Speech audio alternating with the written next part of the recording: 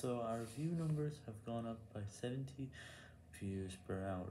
What I mean is the view rate on the channel is up to 70 views per hour because of a promotion that was left on one of my videos.